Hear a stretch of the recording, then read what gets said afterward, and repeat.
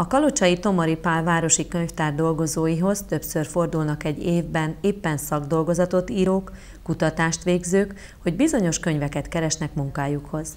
Ha nincs a könyvtár állományában, más könyvtárból is kikölcsönözhető. Az Országos Dokumentum Ellátási Rendszer, rövidebb nevén ODR, a Nemzeti Kulturális Örökség Minisztériuma által kialakított és támogatott olyan szolgáltatási rendszer, amely az országos lelőhely nyilvántartás segítségével a könyvtárakon keresztül biztosítja a könyvtárhasználók számára a könyvtári dokumentumok hozzáférhetőségét. A könyvtárközi kölcsönzésnek több formája is van, attól függően, hogy mekkora dokumentumról van szó.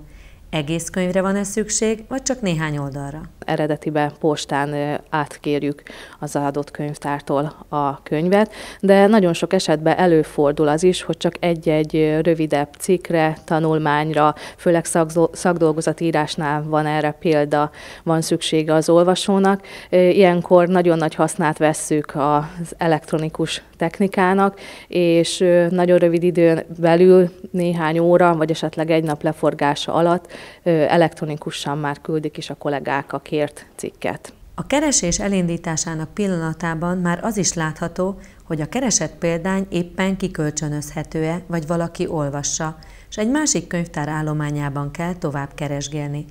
A könyvtárközi kölcsönzést meg is kell fizetni. Postai díjszabást számolunk föl, amiért visszaküldjük a könyvet.